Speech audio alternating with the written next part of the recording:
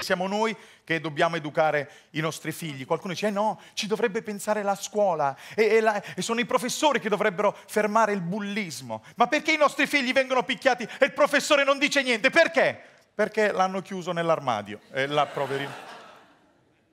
E poi il bullismo c'è sempre stato, purtroppo. Adesso se ne parla di più, ma c'è sempre stato. Mi ricordo quando ero a scuola io, che l'ho subito sulla mia pelle, messo in un angolo, che sono arrivati i tre bulli della classe a fianco, che era una terza, io ero in prima, che mi hanno spinto, mi hanno sputacchiato addosso. Oh, io, c'hai paura? Sì, sì, che cazzo di domanda fa? Allora ti aspetto fuori. Ma ti ho detto che ho paura, che cazzo... Ehi, ti aspetto fuori. Io lì l'ho guardato e ho detto, non ti conviene. Fai, perché? Perché non esco. che cazzo me ne frega? Cioè, non esco.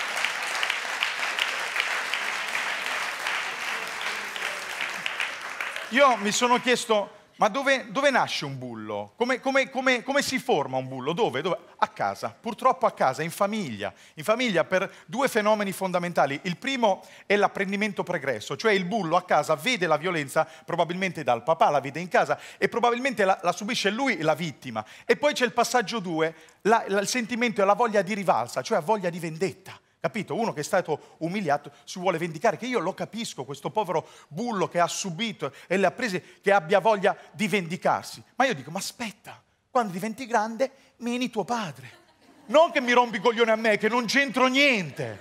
Capito? Invece no, con chi se la va a prendere il bullo? Con quello più piccolo, magari con quello ciccione, con quello più indifeso e lo mena. Ma io dico, ma allora se ce l'hai il potenziale, che sei bastardo dentro, se ce l'hai la cattiveria, mettila a frutto, non picchiare quello sfigato, vai a picchiare un altro bullo come te, capito? Un altro bullo, magari anche più cattivo. Così vi fate i lividi tra voi due e andate a casa con i lividi, i vostri genitori bulli vedono i lividi e vanno a picchiare il papà dell'altro bullo e si scatena una faida tra famiglie bulle, tra due stati bulli, dove alla fine vi estinguete e non rompete i coglioni alla gente per bene.